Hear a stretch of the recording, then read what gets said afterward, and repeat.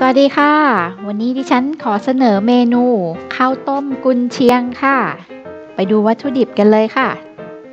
ข้าวสารหนึ่งกระป๋องนะคะ เป็นข้าวหอมมะลิค่ะ กุนเชียงสองชิ้นค่ะ หัวไชเท้าและแครอทสำหรับต้มน้ำซุปนะคะ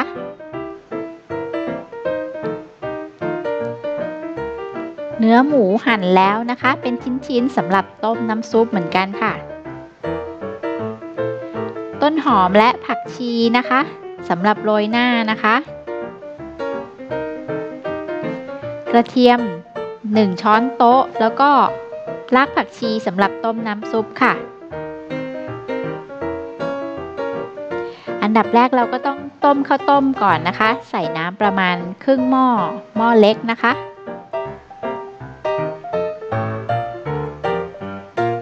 แล้วเราก็มาเตรียมน้ำซุปค่ะ ใช้น้ำเปล่าประมาณ 1 ลิตรนะคะ ใส่ลงไปเลยแบบนี้หรือครึ่งหม้อก็ได้นะคะ แล้วก็ตามด้วยหัวไชเท้าและแครอทค่ะ ใส่ลงไปเลยนะคะ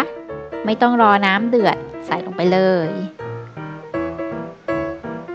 ตามด้วยรากผักชีค่ะ พอน้ำเดือดแล้วนะคะ ให้ใส่เนื้อหมูลงไปค่ะ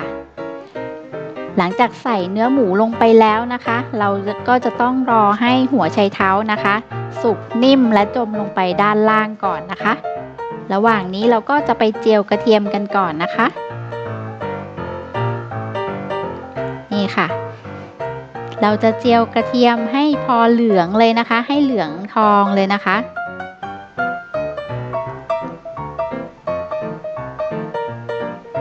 เสร็จแล้วเราก็ จะช้อนเอาแต่กระเทียมนะคะ ใส่ชามไว้ก่อน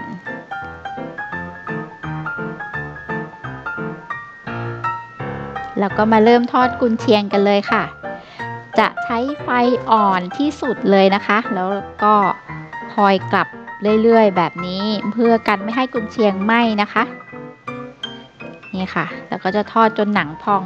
เล็กน้อยแบบนี้ นี่ค่ะ แค่นี้พอนะคะ สร็จแล้วเดี๋ยวเราจะไปพักไว้ให้หายร้อนแล้วเอาไปหั่นเฉียงนะคะ นี่ค่ะ เสร็จแล้วเราก็มาดูน้ำซุปต่อนะคะ ช้อนฟองออกด้วยนะคะ เพื่อความใสของน้ำซุปค่ะ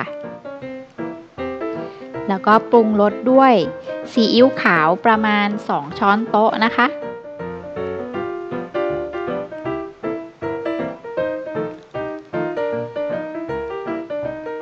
แล้วก็กระเทียมเจียวเมื่อสักครู่นี้นะคะ ใส่ลงไปเพื่อความหอม แล้วก็ปรุงรสอีกครั้งด้วยน้ำปลาประมาณ 1 ช้อนโต๊ะนะคะ